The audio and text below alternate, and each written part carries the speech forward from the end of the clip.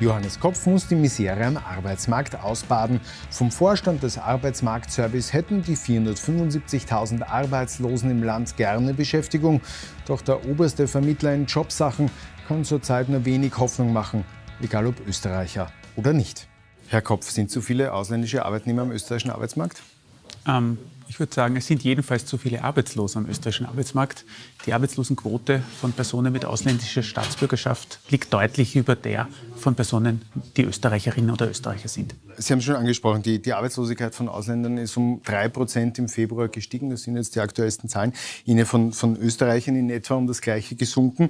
Äh, wenn immer mehr Ausländer untereinander um Jobs kämpfen, kann das den Österreichern nicht um zu einem gewissen Grad egal sein oder ist das auch unser Problem? Nun, es ist in erster Linie mal eine große Herausforderung in unserem Sozialsystem sind hohe Kosten auch in der Arbeitslosenversicherung oder auch äh, in, anderen äh, sozialen Töpfen, etwa später niedrige Pensionen und Ergänzungen und so weiter. Also in dem Sinne ist es schon ein Problem. Und dann glaube ich, ist es ja auch ganz gut, wenn man nicht nur an sich selbst denkt, sondern an alle Menschen, die in diesem Land leben. Also in dem Sinne ist es schon ein Problem. Und vergessen wir nicht, wir haben ja gesehen, dass die Arbeitslosigkeit auch in der Vergangenheit, auch in Österreich generell gestiegen ist, auch weil wir Zuwanderung aus dem EU-Land hatten. Es waren zwar meistens Personen ausländischer Staatsbürgerschaft, die verdrängt waren, aber es waren auch etwa Österreich Österreicherinnen und Österreicher mit Migrationshintergrund, die von besser qualifizierten Menschen aus dem benachbarten EU-Ausland in gewisser Weise konkurrenziert waren. Jetzt hat man bei den neuen Maßnahmen, die die Regierung da vorgestellt hat, so ein bisschen ein Überthema, nämlich so ein bisschen die Abschottung des österreichischen Arbeitsmarktes, so der Fokus auf die österreichischen Arbeitnehmer. Kann das funktionieren, ganz generell? Äh, ich glaube, man muss die verschiedenen Maßnahmen differenziert anschauen. Ein, ein Thema ist, äh, das angekündigt ist, ist der Versuch, die Personenfreizügigkeit einzuschränken. Hier sage ich offen, das halte ich nicht für realistisch. Das ist eine so fundamentale Sache für die EU, dass ich einfach nicht glaube, dass es möglich ist, dass die EU dem zustimmt.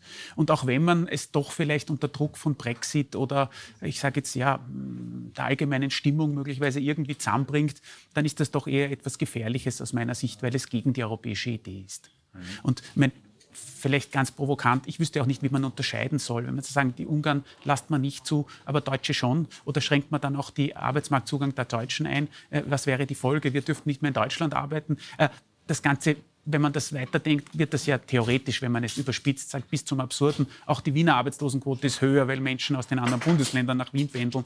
Also das ist jetzt übertrieben, aber ich glaube schon, dass man mit so einem Punkt eher vorsichtig sein muss. Die Regierung ähm, buttert jetzt wieder sehr, sehr viel Geld in den österreichischen Arbeitsmarkt nach der Steuerreform. Die nächste Maßnahme, die helfen soll, die Wirtschaft und damit auch den Arbeitsmarkt anzukurbeln. Äh, reicht da Geld? Also kann, kann die jetzt wieder zwei Milliarden versprochen wurden, kann das helfen, diese 160.000 Jobs, die der Vizekanzler versprochen hat, zu schaffen? Kann das gelingen? Äh, man muss ein bisschen unterscheiden. Also auf das eine, selbstverständlich hat der Staat mit seinen Ausgaben Beschäftigungseffekte. Ja, ganz klar, klassische Konjunkturpolitik etwa. Das haben wir auch im vergangenen Jahr gesehen. Der Bau ist sehr gut gelaufen, auch deswegen, weil viele Unterkünfte gebaut wurden für die zu uns geflüchteten Menschen etwa. Ein Thema.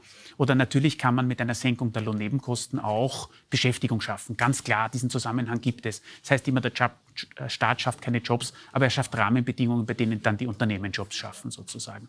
Äh, das ist ganz gut und darum ist eine Senkung der Lohnnebenkosten, vor allem jetzt, wo man von zwei Milliarden spricht, eine wichtige Maßnahme. Das wird Effekte haben. Wird es reichen dafür, dass die Arbeitslosigkeit sinkt? Äh, würde ich sagen, nein. Das hängt stärker noch von der Gesamtkonjunktursituation zu tun, als bloß von sozusagen Gegensteuerungsmaßnahmen. Aber ist es trotzdem richtig? Ja. Und ist es wichtig? Ist auch richtig. Und selbst wenn der Anstieg der Arbeitslosigkeit nur gebremst wird, ist das positiv. Weiteres großes großes Problem am österreichischen Arbeitsmarkt sind all jene Firmen, die im Ausland tätig sind, aber ihre Arbeiter hierher schicken. Das klassische Beispiel, das da immer kommt, ist der Ungar, äh, der rüberfahrt und auf einer Baustelle zum Beispiel in Wien arbeitet. Äh, da gibt es auch Statistiken, ganze sieben, mehr als sieben Prozent der, der äh, Arbeiter, die in der EU herumgeschickt werden, werden nach Österreich geschickt. Äh, das ist sehr, sehr viel äh, im EU-Vergleich. Ähm, die Regierung sagt, sie nehmen den hier Arbeitenden die Jobs weg. Stimmt das? Ja, also natürlich gibt es hier tatsächlich eine Konkurrenz und es ist nicht nur eine Konkurrenz für den inländischen Arbeitnehmer oder die inländische Arbeitnehmerin, es ist auch eine Konkurrenz für die Betriebe, die hier sind, weil einfach dieses über die Grenze der Arbeiten sozusagen auch in Bezug auf Wettbewerb natürlich sehr günstig ist. Ähm, das Ganze ist ein spezifisch österreichisches Thema, weil wir einfach eine besonders nahe und besonders lange Außengrenze zu den EU 10, den später beigetretenen EU-Ländern haben. Und in dem Sinn ist es sehr einfach, ich sage jetzt auch über die Grenze zu arbeiten, weil das ganz in der Nähe ist. Anders als es etwa bei Irland wäre oder bei Großbritannien. Ähm, und das ist ein, ein, Thema und das ist auch tatsächlich, es gibt auch Missbrauch. Ja, es gibt viele, viele Beispiele, wo Betriebe eben nicht den ortsüblichen Lohn zahlen, wo die Unterlagen nicht ordentlich sind, wo eben nicht nachgewiesen wird und so weiter. Äh, und es ist nicht leicht einzufangen. Und es ist eigentlich ein Problem aus meiner Sicht mehr der Kontrolle als der rechtlichen Regelungen. Die rechtlichen Regelungen sind eigentlich klar und die sind auch relativ hart sozusagen. Es muss der ortsübliche Lohn gezahlt werden, es muss auch Überstunden bezahlt werden, es müssen die gleichen Regeln gelten sozusagen.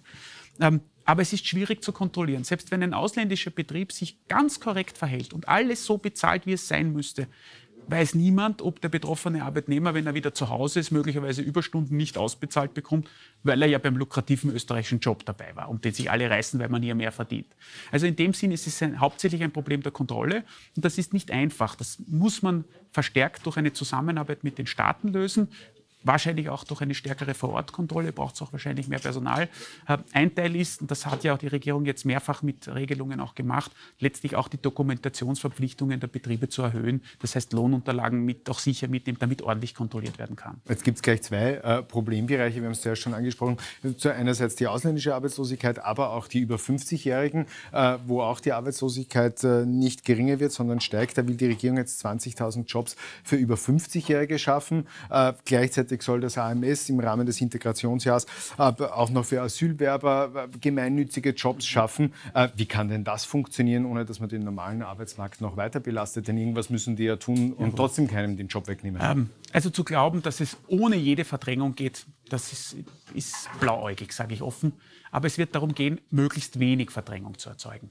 Bei beiden geht es darum, was ist denn eigentlich die Idee? Die Idee ist, Menschen, für die wir aktuell keine Arbeit haben, bei den geltenden Rahmenbedingungen, das sind im Wesentlichen ältere Langzeitarbeitslose, denen auch eine Perspektive zu geben. Weil einfach zu sagen, du kannst nicht in Pension gehen, Pech gehabt, ist, ist auch nicht wertschätzend sozusagen und auch nicht sinnvoll. Und zu jetzt zu sagen, es gibt da so etwas wie einen sinnvollen Transit in die Pension, nämlich noch ein paar Jahre etwas gemeinnützig machen, von dem ich vielleicht selber auch der Meinung bin, es ist sinnvoll, das ist die Aufgabe. Äh, so etwas kann man nicht wirklich verordnen von oben herab. So tut es jetzt alle Zebrastreifen überwachen oder so, weil da gibt es Zebrastreifen, wo es sinnlos ist, dass da wer steht, sozusagen, weil eh kaum ein Auto fährt. Sondern sowas muss man lokal aus der Region erfinden und dann bottom-up organisieren. Das heißt, ähm, wir werden uns so aufstellen, dass zusammen mit meinen, unseren regionalen Geschäftsstellen die Bürgermeister, die sozialen Verbände, die sozialen Einrichtungen, die Blaulichtorganisationen und so weiter sich überlegen, welche Arbeit gibt es in meinem Bezirk, in meiner Gemeinde, die sinnvoll wäre, aber bisher nicht passiert. Aber was kann das ganz konkret sein? Das wird dann immer so ein bisschen umschrieben. Es kann ja wohl nicht sein, äh, äh das Gemeindeamt ausmalen, weil da ist der lokale Malerbetrieb Nein, betroffen. Es, es kann wahrscheinlich auch nicht sein, das Rasenmähen, weil da ist dann der Gärtner wieder beleidigt. Also die Frage ist, wo, wo, wo kann man tatsächlich also auch paar Beispiele. Jobs schaffen. Äh, es gibt unter den älteren Langzeitarbeitslosen durchaus auch gut qualifizierte Leute. Und wir wissen, dass es lernschwache Kinder gibt, die tatsächlich profitieren würden, wenn jemand ihnen Nachhilfe gibt. So, und das kann vielleicht von den Eltern nicht finanziert werden. Das ist ein Punkt. Es gibt ältere Menschen, die sich unendlich langweilen in den Alten- und Pflegeheimen und die eigentlich gescheit wäre, wenn man die besuchen würde, mit ihnen ein Fotoalbum anschaut, mit ihnen spielt, mit ihnen tratscht. Äh, das sind Tätigkeiten, die zu wenig passieren, wo wir alle, die wir ältere äh, Großeltern oder Eltern zu pflegen haben, auch ein schlechtes Gewissen haben, dass wir wenig Zeit haben und so weiter. Und wenn es was Vernünftiges gäbe, äh, auch jemand, der wen unterstützt, einkauft, vielleicht die Blume gießt oder so, dann wäre das sinnvoll. Es gibt aber auch, ich sage jetzt Spielplätze, wo es gescheit wäre, wenn jemand da wäre und schaut, dass die Kinder, keine Ahnung, nicht von der Schaukel fallen und möglicherweise auch, was weiß ich, Bälle mit hat und die auch verteilt und nachher wieder einsammelt. Und solche Themen gibt es. Dieses Integrationsjahr, das Sie da angesprochen haben, äh, dass da jetzt kommt, damit, da übernimmt das AMS jetzt äh, auch für Sie ganz neue, äh, sehr umfangreiche Aufgaben. Sind Sie dafür überhaupt gerüstet? Also wir haben mit Anfang des Jahres 400 zusätzliche Planstellen beim AMS bekommen. In dem Sinn haben wir mehr Personal. Äh, aber es ist richtig, es kommen jetzt sehr große Aufgaben auf das AMS zu, äh, mit dem Integrationsjahr, mit der Aktion 20.000 und das Ganze bei ohne die sehr hohe Arbeitslosigkeit. Also es ist herausfordernd, aber wir sind guten Mutes und werden unser Bestes geben, um möglichst viel davon umzusetzen. Aber was kann das AMS besser machen bei der Integration von, von Flüchtlingen, was bis jetzt nicht passiert ist, was bis jetzt äh, auf der Strecke geblieben ist? Äh, ganz viel. Das eine ist, wir haben mehr Budget, also können wir auch tatsächlich äh, intensiver äh, und mehr Ausbildungen machen, auch mehr Fach, Facharbeiterausbildungen, wie, wie sie etwa hier passieren äh, wo Leute wirklich einen Lehrabschluss machen können. Und das ist eine. Und das zweite ist, besser heißt in diesem Fall auch schon früher. Wir wissen einfach sehr klar, dass die Chancen ähm, einer Arbeitsmarktintegration massiv sinken, wenn die Zeit, in der man nichts tut, sehr lang ist. Und indem man während des Asylverfahrens zumindest bei jenen beginnt, die eine hohe Anerkennungswahrscheinlichkeit haben, die eben wahrscheinlich hier bleiben. Das ist durchaus sinnvoll. Also das begrüßen wir sehr, auch wenn es für uns, ich sage es offen, viel Arbeit ist.